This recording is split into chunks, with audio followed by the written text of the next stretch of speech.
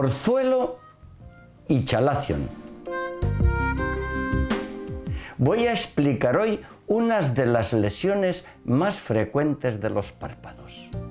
Orzuelo. El orzuelo es una inflamación del párpado causada por una infección bacteriana usualmente provocada por Staphylococcus. Se aprecia un bulto pequeño y enrojecido dentro del párpado. En muchos casos se observa un pequeño punto blanquecino de pus en el centro, localizado en el borde externo, en la base de las pestañas o en la parte interna del párpado.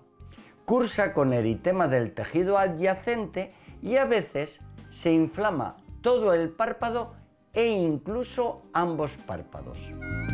Suelen ser sensibles al tacto y muchos casos presentan dolor, a veces intenso. Se asocia con molestias tales como sensación de cuerpo extraño, picor, lagrimeo o epífora y molestias a la luz o fotofobia. Es frecuente observar escamas, secreciones o costras en el borde de los párpados.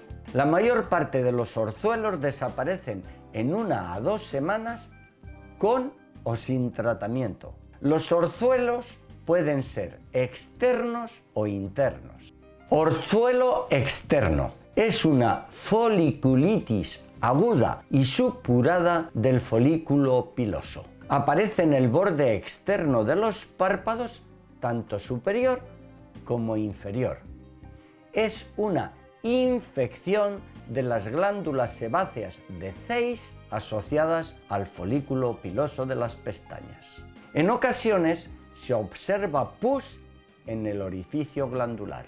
Cursa con dolor, enrojecimiento y edema localizado. Suele ser pequeño y superficial y a veces es muy doloroso. Orzuelo interno.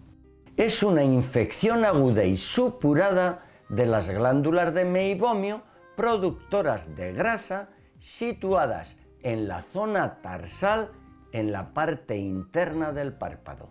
Si es extenso, puede provocar celulitis palpebral con síntomas más intensos que en los externos. También se puede observar un punto blanquecino de pus. Chalación o calacio. Un chalación es un bulto inflamado, enrojecido e hinchado en el párpado. Se produce si se obstruye una glándula de meibomio y cuando un orzuelo se hace crónico. Suele ser asintomático o con muy poco dolor. Al crecer, se enrojece el párpado, se hincha y a veces es sensible al tacto.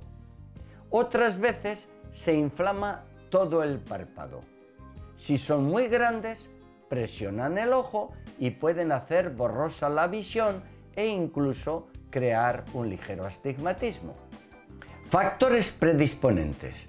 La aparición de un orzuelo o un chalación es más probable en párpados inflamados, blefaritis, con enrojecimiento e hinchazón cuando hay historia de orzuelos o chalaciones previos, acné, rosácea o dermatitis seborreica, diabetes u otros problemas médicos.